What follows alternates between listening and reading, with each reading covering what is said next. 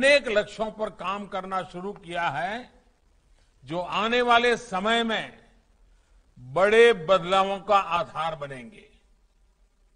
अमृत काल में देश की गति प्रगति का आधार, सबका प्रयास की वो भावना है, जो हमारी इस विकास यात्रा का नेतृत्व कर रही है। विशेष रूप से गाँव गरीब और किसान के लिए जो भी काम हो रहे हैं, उनका नेतृत्व भी देशवासियों और ग्राम पंचायतों को दिया गया है। मैं गुजरात में प्राकृतिक खेती के इस मिशन को लगातार करीब से देख रहा हूँ। અને પ્રગતિ જોઈને મને ખરેખર આનંદ થાય છે અને ખાસ કરીને ખેડૂત ભાઈઓ બહેનોએ આ વાતને પોતાના મનમાં ઉતારી છે દિલથી લીધી છે એનાથી કોઈ બીજો રૂડો અવસર જ ના હોઈ શકે सूरत में हर गांव पंचायत में 75 किसानों का चयन करने के लिए ग्राम समिति तालुका समिति और जिला समिति बनाई गई। गाँव स्तर पर टीमें बनाई गई। टीम लीडर बनाए गए। तालुका पर नोडल ऑफिसर्स की ज़िम्मेदारी दी गई। मुझे बताया गया है कि इस दौरान लगातार ट्रेनिंग प्रोग्राम्स और वर्कशॉप का आयोजन भी किया गया। और आज इतने कम समय में साढ़े पाँच सौ से ज़्यादा पंचायतों से, चालीस हज़ार से ज़्यादा किसान प्राकृतिक खेती से जुड़ चुके हैं। यानी एक छोटे से इलाके में इतना बड़ा काम, ये बहुत अच्छी शुरुआत है। ये उत्साह जगाने वाली शुरुआत है। और इससे हर किसान के दिल में एक भरोसा जगता है। आने वाले समय में आप सभी के प्रयत्नों, आप सभी के अनुभवों से पूरे देश के किसान बहुत कुछ जानेंगे, समझेंगे, सीखेंगे। सूरत से निकला नेचुरल फ़ार्मिंग का मॉडल पूरे हिंदुस्तान का मॉडल भी बन सकता है। भाइयों और बहनों, जब किसी लक्ष्य को प्राप्त करने के लिए देशवासी खुद संकल्पबद्ध हो जाते हैं तो उस लक्ष्य की प्राप्ति में हमें कोई रुकावट नहीं आती है, न हमें कभी थकान महसूस होती है। जब बड़े से बड़ा काम जन भागीदारी ताकत से होता है। तो इसकी सफलता खुद देश के लोग सुनिश्चित करते हैं। जल जीवन मिशन का उदाहरण हमारे सामने है। गाँव गाँव साफ़ पानी पहुँचाने के लिए इतने बड़े मिशन की ज़िम्मेदारी देश के गाँव और गाँव के लोग गाँव में बनी पानी समितियाँ, यही तो सब लोग संभाल रहे हैं। स्वच्छ भारत जैसा इतना बड़ा अभियान, जिसकी तारीफ़ आज सभी वैश्विक संस्थाएँ भी कर रही हैं, उसकी सफलता का भी बड़ा श्रेय हमारे गाँवों को है। इसी तरह डिजिटल इंडिया मिशन की असाधारण सफलता भी उन लोगों को देश का जवाब है जो कहते थे, गाँव में बदलाव लाना आसान नहीं है। ये मन बना लिया था लोगों ने भाई गाँव में तो ऐसे ही जीना है, ऐसे ही गुजारा करना है। गामड़ा में कहीं बदल था नहीं अवमानित बैठा था। हमारे गाँवों ने दिखा दिया है कि गाँव न केवल बदलाव ला सकते हैं बल्कि बदलाव का नेतृत्व भी कर सकते हैं।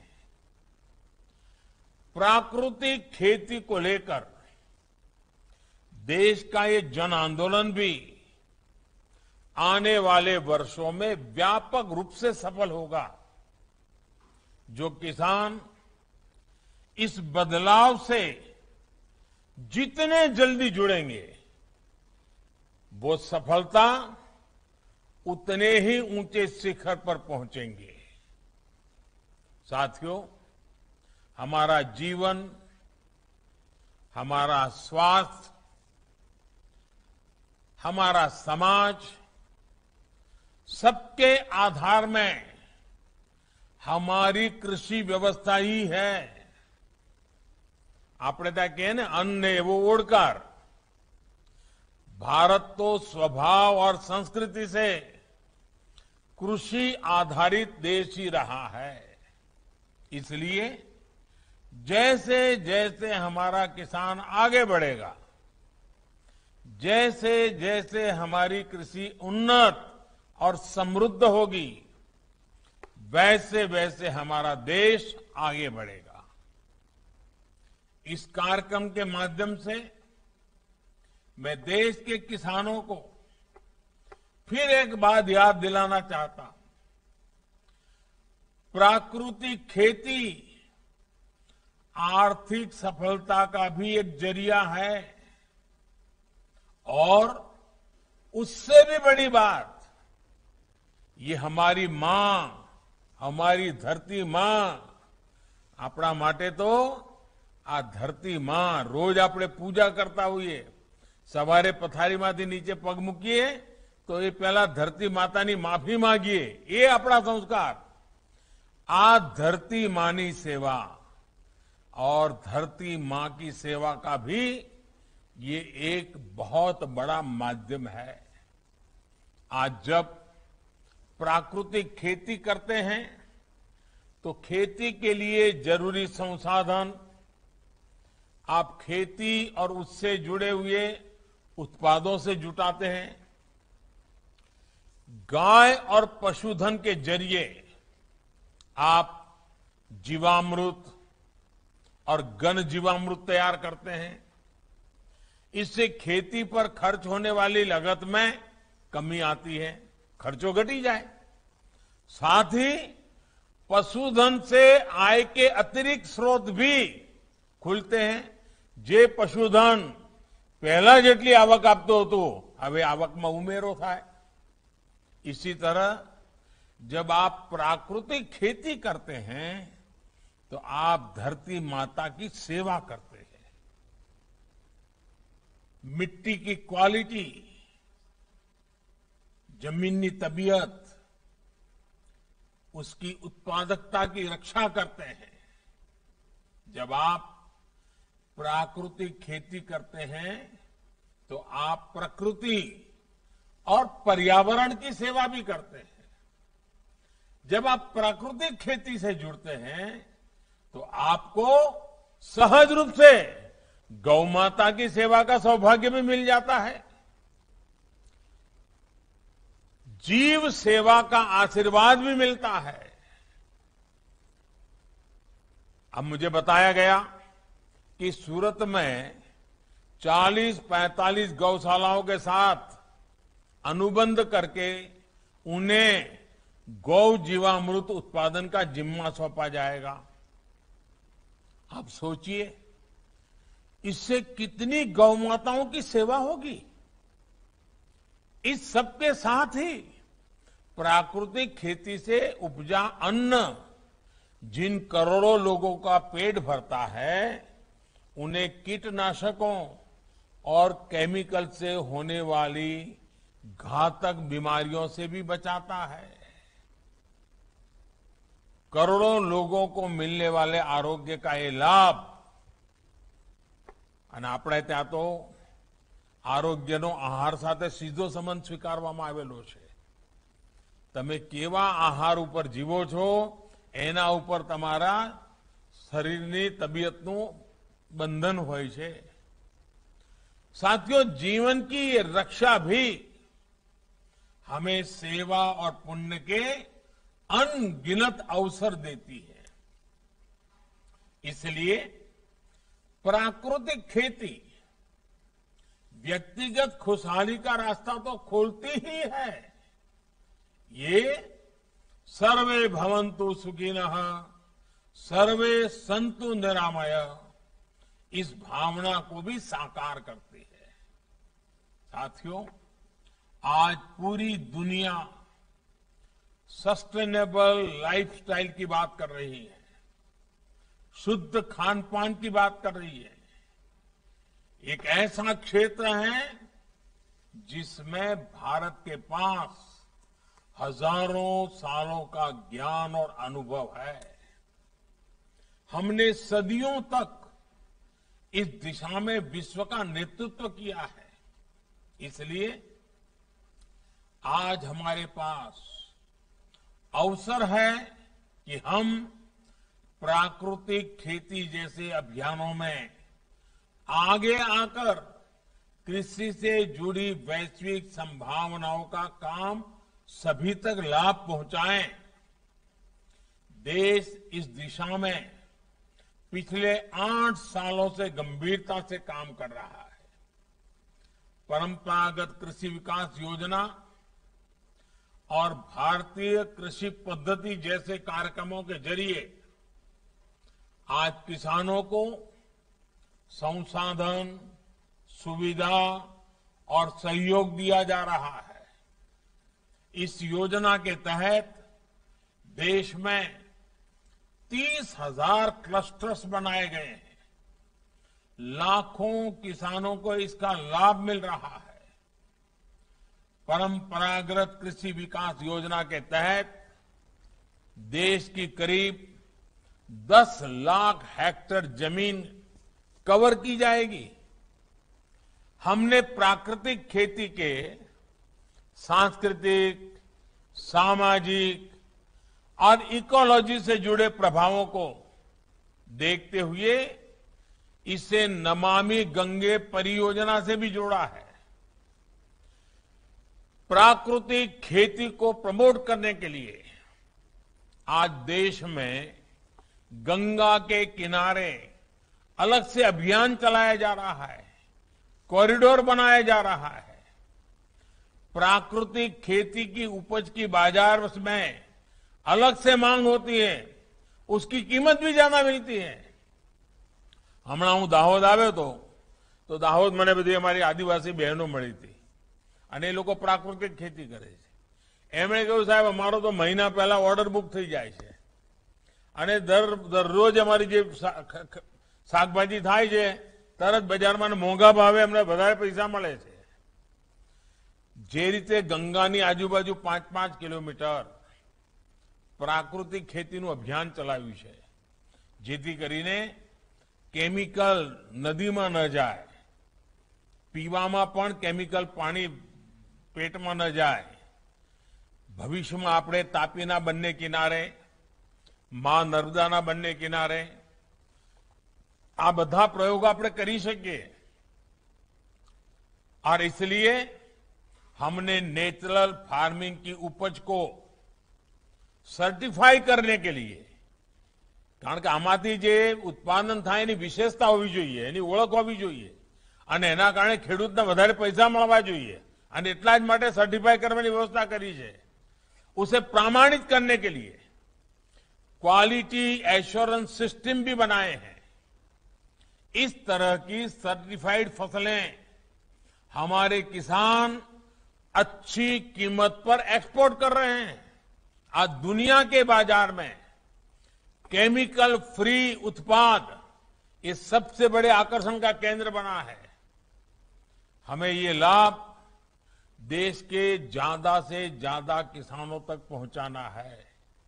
साथियों, सरकार के प्रयासों के साथ ही हमें इस दिशा में अपने प्राचीन ज्ञान की तरफ़ भी देखना होगा। हमारे यहाँ वेदों से लेकर कृषि ग्रंथों और कौटिल्य वरामीर जैसे विद्वानों तक प्राकृतिक खेती से जुड़े ज्ञान के अथाह भंडार मौजूद है। आचार्य देवव्रत जी हमारे बीच में हैं। वे तो इस विषय के बहुत बड़े जानकार भी हैं और उन्होंने तो अपना जीवन मंत्र बना दिया है।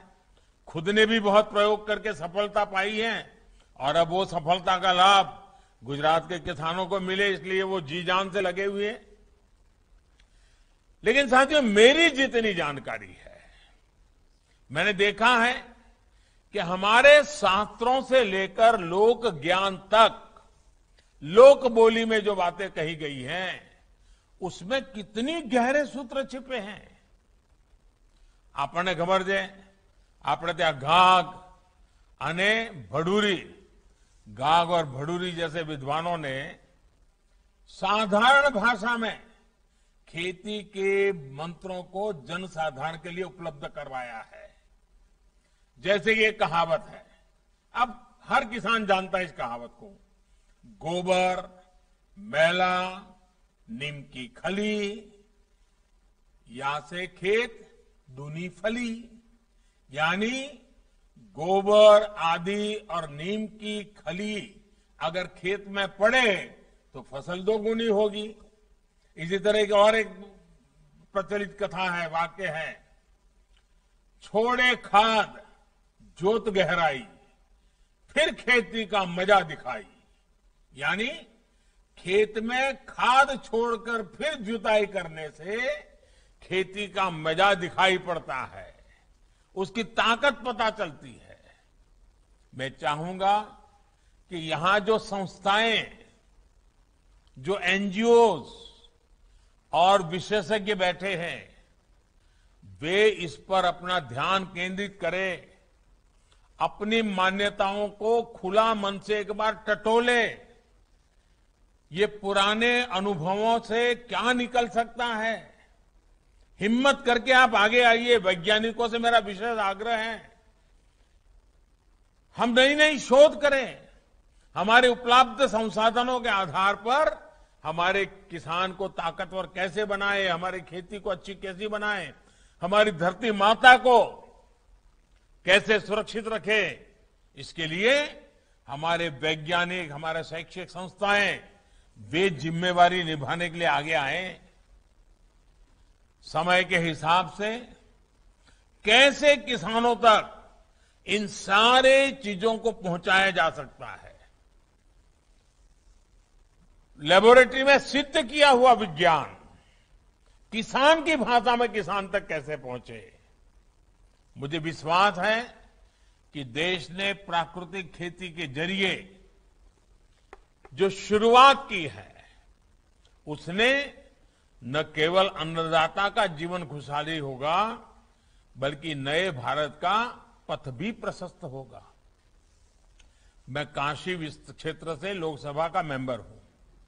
तो मेरा काशी के किसानों से कभी कभी मिलने का जब भी मौका मिलता है, बातें होती हैं।